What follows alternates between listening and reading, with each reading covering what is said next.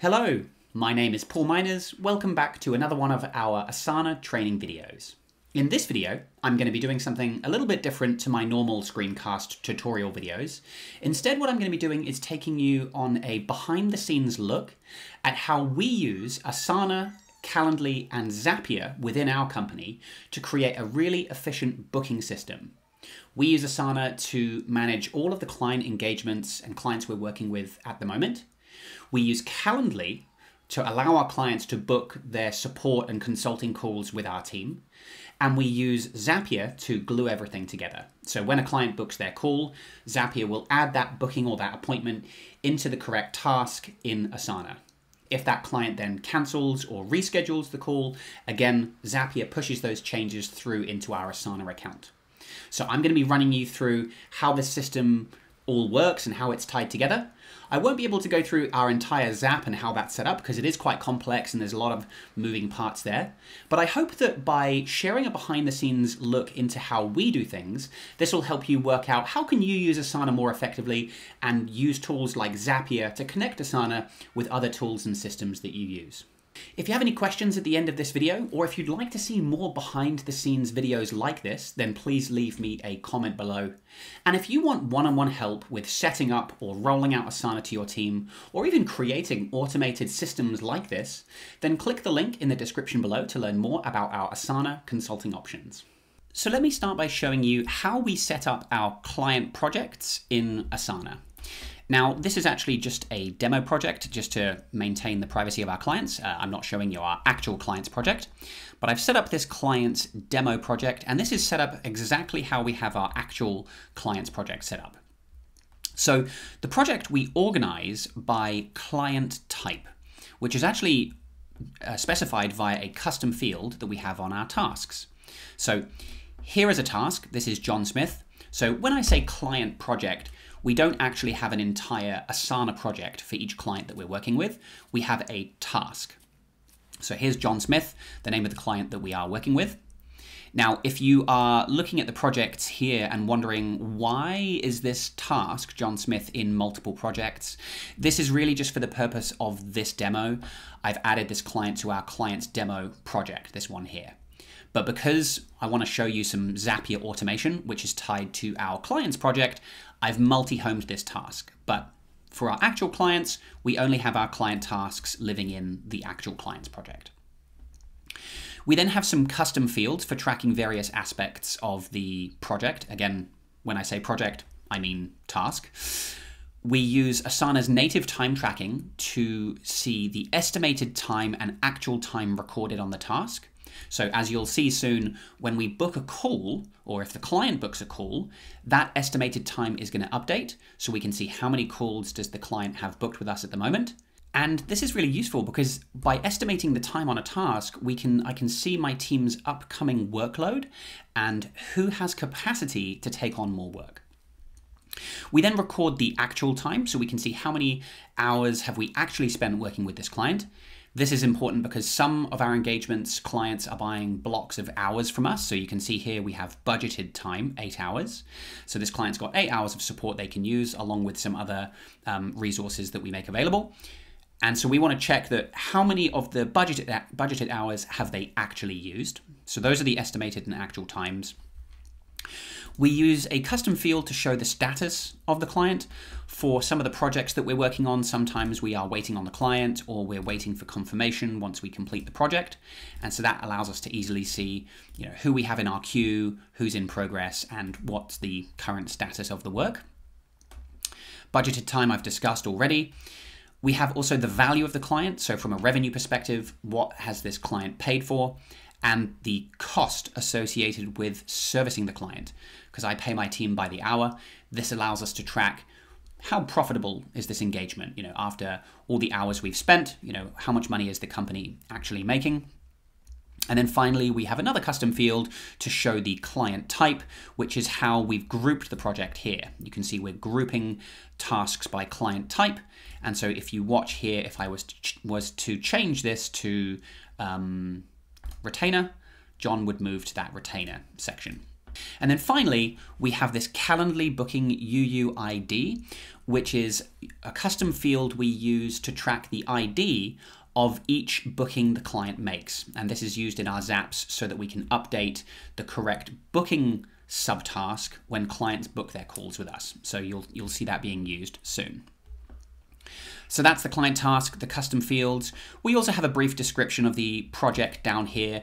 So usually this is something we write actually in Pipedrive, which is where we manage our opportunities. So when we first meet with a client, we're working in Pipedrive up to the point where we close and win the deal. And so we have notes in there about a description of the project and what the client is hoping to achieve. And this actually gets copied into the Asana task. So we've got a nice summary of the client's goals. And then down the bottom here, we have the subtasks where we track all the actual appointments that they've booked. So at the moment, there's nothing. So that's an overview of how we set up and manage our clients in Asana. Now let's look at Calendly and let's book a call and see how that updates this task. So when a client signs up to work with us, we send them a link where they can book a call either with the consultant on my team they initially met with. So if you met with Lindsay on our on your sales intro call, you can choose to book with Lindsay. She's in Rhode Island, USA. Or if you'd prefer to work with Holly, because she's in Brisbane, Australia, it's a better for your time zone. Or you can book with the next available person. So this is actually all built using Calendly's routing feature. So if I show you the back end here, this is under the routing options. You can set up logic like this, where if somebody says, I want to book with Lindsay, they will then get directed to Lindsay's booking page. If they want to work with Holly, they get directed to Holly's booking page. Or if they want to work with the next available person, they go to our round robin and they can view all the combined available times that both Holly and Lindsay are available. So we could just say here, the next available person. So now Calendly is showing us all of the combined available times that my team have available. We can then pick a time, so let's choose later this week. Uh, let's choose, uh, I'm in Auckland, so for Lindsay, this would be a bit of an early call for me. But let's get this booked. So we're going to say John Smith is booking the call, john at email.com. And we, our clients can provide details so they can say, I'd like to set up a template for my business. You know, I'm just going to be generic there. So before I book this, let me take you to Zapier and let me give you an overview of how this Zap works. Now, there's a fair bit going on here.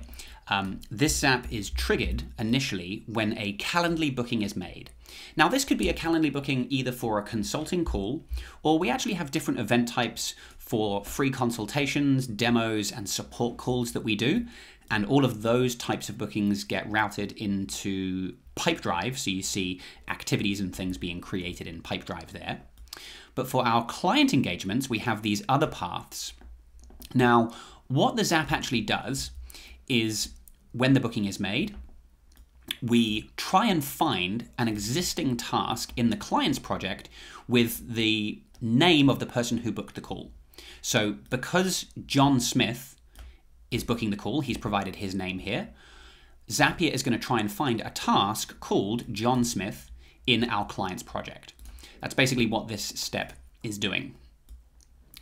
Now, if it, if it successfully finds the parent task, we then create a subtask for the appointment if it's assigned to if the if the task is not assigned to Paul, we add a comment, and if the parent task is not assigned to anyone, we assign the parent task to the new consultant because that person is now going to take charge or take ownership of that client engagement.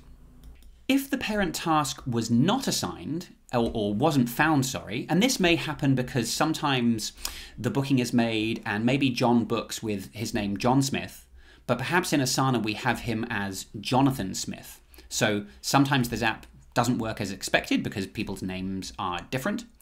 Then we have a bit of a fallback that happens where we create the task or we try and find the task using the person's email domain. Um, if we can't find the task, we, we still create the appointment and we will manually link it if we need to. But essentially, all you need to know here is that when the zap is triggered, we add the a new subtask, hopefully, to the correct parent task in Asana. So let's give that a test now and let's see what happens. So I am going to click schedule event. So you see here, John has now been booked with Lindsay. She was obviously the next available person at that time. If we go back to Asana, if we give Zapier a second here, we should see a new subtask being created. There we go. So you see that just appeared there. The subtask is called John Smith Call One Hour. We can see it's assigned for this Saturday at 1 a.m., which is according to my local time zone, and it's been assigned to Lindsay because Lindsay is the person that John has booked with. We can also see if we go into that subtask now, we've got the details of the appointment. So we've got John's email, his time zone, a link to the Zoom, Zoom link. So Lindsay's got quick access to this, and even a bit of a summary here of what John would like to discuss on the call. We can see that because this is a one hour call, an estimated time of one hour has been assigned to this parent task. And we can also see back at the parent task level, Lindsay has been assigned as the owner or assignee on the parent task. Because this is the first call that John is booking, Lindsay now becomes the primary consultant supporting that client.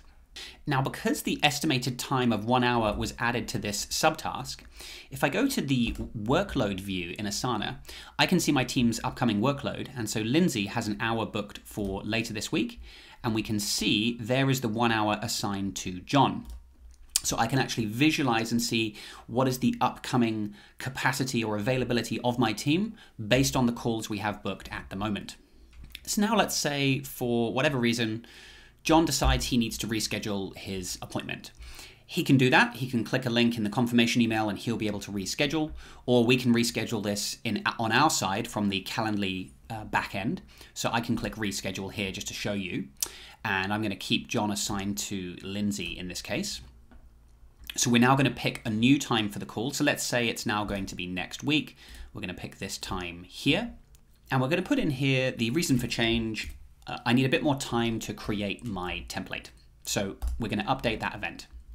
This then triggers a different zap, and it's a different zap because we have a different trigger. So this trigger is if an invitee or an appointment is cancelled or updated, we trigger this automation. And there's a few different paths to handle different logic here. But what we do is in, Cal in Zapier, we try and find the original booking subtask using the UUID of that subtask. So what's that about? If I take you back to Asana, here's the subtask that was created when John initially booked a call. And if I open the inherited fields here, what we do is we attach the UUID. This is basically the ID of that specific booking. We attach that ID to this custom field. That allows us to then find the existing task and update it accordingly. So if the appointment is cancelled, we clear the estimated time, we put in a comment, we mark the task as complete, or if it's rescheduled, we update the time and we post a comment. So if we go to Asana, you can actually see in the time that we've been talking, the um, due date and time of the task has been updated, and Jarvis, which is our sort of Zapier bot, has added the reschedule reason here, I need a bit more time. So this notifies Lindsay and a few other collaborators down here that this has been rescheduled. You can even see in the change log that Jarvis changed the date from the 25th uh, uh, to, or sorry, to the 25th, the new time. So that automatically happens. Lindsay doesn't have to update this herself. Zapier takes care of that for us. Of course, the other thing that can happen is the client may choose to cancel their call, or we might have to cancel it for them. So if I come in here and click cancel, I'll just say this is a test, please ignore. I'm going to cancel that now.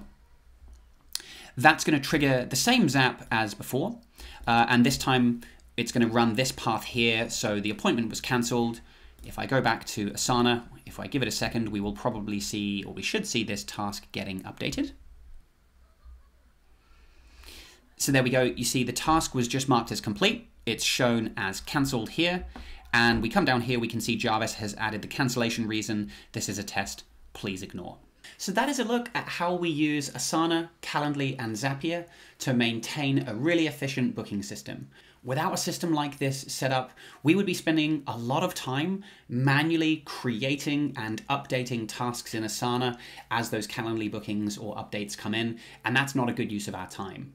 By having Zapier set up, it really just reduces the admin. We just get notified when those changes happen and it just saves us all a ton of time. I hope this behind the scenes video was useful. If you want to see more behind the scenes videos on how we use Asana or Zapier or Pipedrive for that matter, then please leave me a comment below. Thank you very much for watching and I'll see you in the next video.